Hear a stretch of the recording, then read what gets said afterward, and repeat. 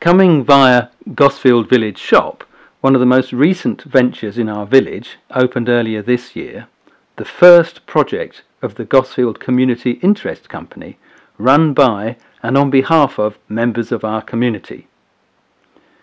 Let us pause briefly to reflect. God of creation, bless all who work in this building and those who come to buy in it.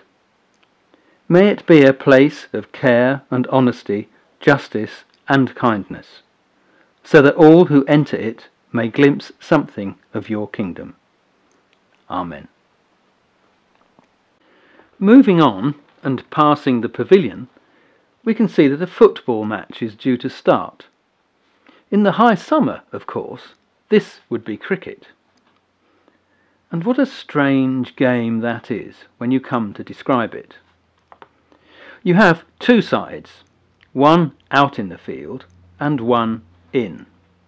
Each man that's in the side that's in goes out, and when he's out, he comes in, and the next man goes in until he's out.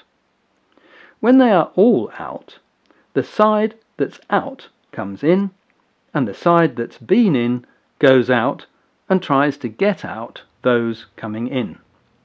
Sometimes you get men still in but not out. When both sides have been in and out, including the not outs, the winner is declared, if there is one. How's that? At the turn of the season from summer to autumn, let's pause for a while to think about our village in summer.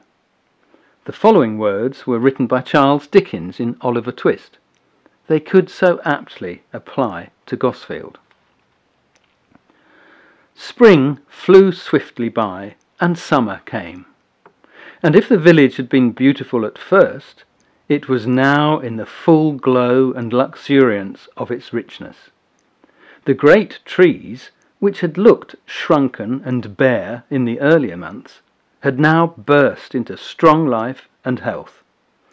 And stretching forth their green arms over the thirsty ground, converted open and naked spots into choice nooks, where was a deep and pleasant shade from which to look upon the wide prospect, steeped in sunshine, which lay stretched out beyond. The earth had donned her mantle of brightest green, and shed her richest perfumes abroad. It was the prime and vigour of the year. All things were glad and flourishing. Let us give thanks for our community in Gosfield. Lord God, you have taught us that we are members of one another, and that we can never live to ourselves alone. We thank you for this community of which we are part, for all those who share with us in its activities, and for all those who serve its various interests. Help us, as we have opportunity, to make our own contribution to the community, and learn to be good neighbours, that by love we may serve one another. For the sake of Jesus Christ our Lord. Amen. We've crossed the playing field, passing the memorial to US Captain Wendell J. Kelly. In 1963, his aircraft suffered engine failure and crashed in a nearby field. Captain Kelly heroically steered the craft to avoid the village and school and sadly ejected too late to survive. And reaching Hall Drive, we are now outside Gosfield Community Primary School, one of three schools in our small village. It is appropriate that our second reflection is on education and learning. Such a wonderful gift and opportunity open to us all, regardless of our age. The book of Proverbs is probably the most down to earth book contained in the Bible which is in itself a collection of 66 books. Written by King Solomon, the central message is that growth in wisdom is the real prize to pursue. Let us reflect on the purpose of that book, set out in the prologue, in verses 2 to 7. For gaining wisdom and instruction, for understanding words of insight, for receiving instruction in prudent behaviour, doing what is right and just and fair, for giving prudence to those who are simple, knowledge and discretion to the young. Let the wise listen and add to their learning, and let the discerning get guidance for understanding proverbs and parables, the sayings and riddles of the wise. The fear of the Lord is the beginning of knowledge, but fools despise wisdom and instruction.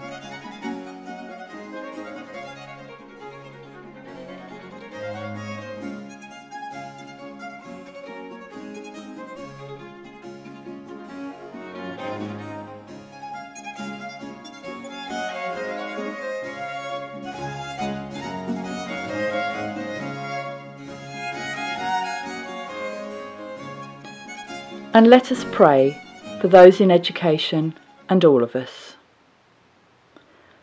Lord, grant to all who study and those who teach them the grace to love that which is worth loving, to know that which is worth knowing, to value what is most precious to you, and to reject what is evil in your eyes. Give us all a true sense of judgment and the wisdom to see beneath the surface of things. Above all, may we search out and do what is pleasing to you through Jesus Christ our Lord. Amen.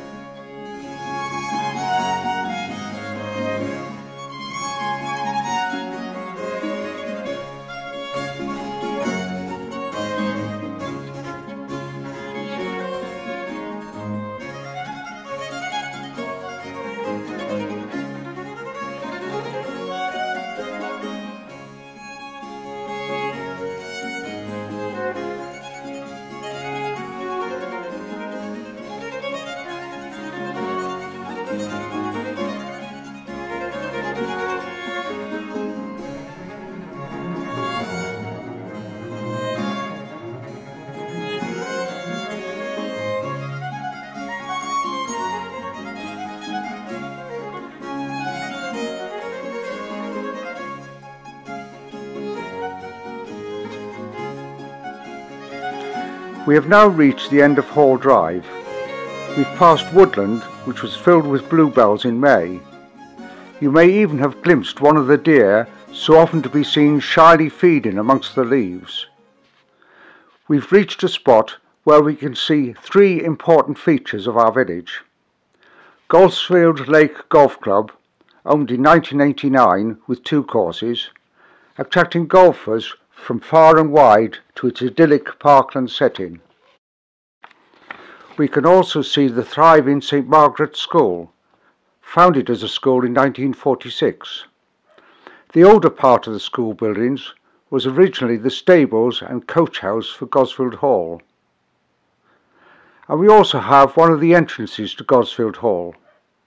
Originally built in 1545 by Sir John Wentworth, and added to extensively in the 18th century. Over the years, it has seen a visit by Queen Elizabeth I, and early in the 19th century, it was home to the exiled Louis XVIII of France, who lived here with more than 350 courtiers and staff. Now it is a sought after and busy wedding venue, with hundreds of couples choosing to start their married lives here in Gosfield. Let us pause for a while to reflect on the passage of time and how people and places change through the years, perhaps reflected in microcosm here. The school, with children starting their education, the hall, where people are making the commitment of marriage, and the golf club, scene of people enjoying their leisure time, perhaps especially in retirement from work.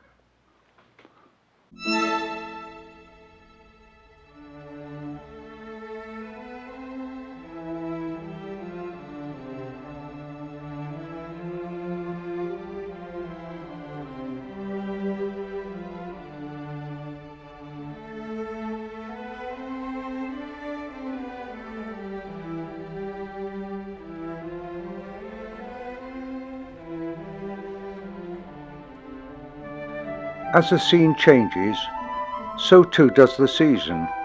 And as we enter autumn, the first stanza from John Keats' Ode to Autumn would seem to be fitting.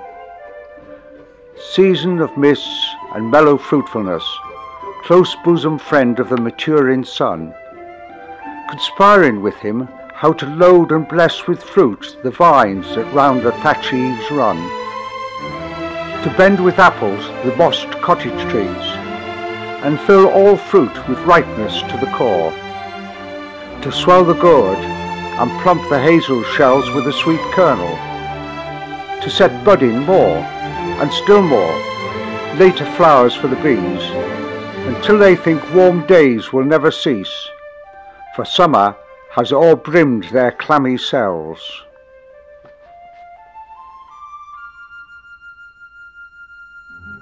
And so let us reflect and pray. In a world whose web of life is intricate and beautiful, save us, Lord, from carelessness and blindness. In a world whose creatures are so varied and vulnerable, save us, Lord, from plundering and cruelty. In a world whose waters are fresh and whose oceans should cleanse, save us, Lord, from wanton polluting.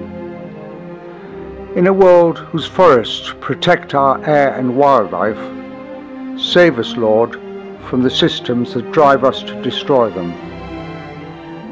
In a world whose fruits are rich and plentiful, save us, Lord, from waste and greed. Amen.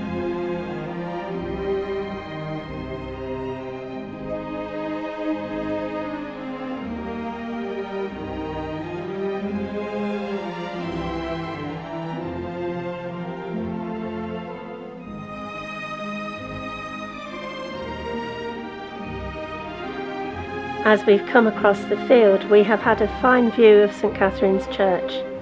The earliest church on this site was built 825 years ago by Aubrey de Vere, 3rd Earl of Oxford.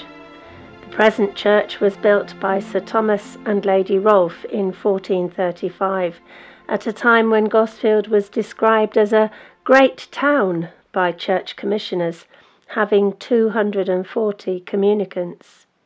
There have been other alterations and changes over the years, one of the most recent being the graveyard extension, which was consecrated for use by the Bishop of Colchester last year. Noticing the field we have crossed, which yielded its crop of wheat early last month, we see the next crop is already growing. We are so fortunate to live in a temperate land where the soil is fertile and yet, when seeds are sown, the mystery of how they grow is often taken for granted. Let us reflect on Jesus' words likening the growing of a crop to the growth of God's kingdom. Mark chapter 4, verse 26. He also said, The kingdom of God is as if someone would scatter seed on the ground, and would sleep and rise night and day, and the seed would sprout and grow, he does not know how. The earth produces of itself first the stalk, then the head, then the full grain in the head. But when the grain is ripe, at once he goes in with his sickle, because the harvest has come. And also let us give thanks to God in words from Psalm 65. Heavenly Father, you visit the earth and water it, you greatly enrich it. The river of God is full of water. You provide the people with grain, for so you have prepared it. You water its furrows abundantly, setting its ridges, softening it with showers, and blessing its growth. You crown the year with your bounty. Your wagon tracks overflow with richness. The pastures of the wilderness overflow. The hills gird themselves with joy. The meadows clothe themselves with flocks. The valleys deck themselves with grain. They shout and sing together for joy. Amen.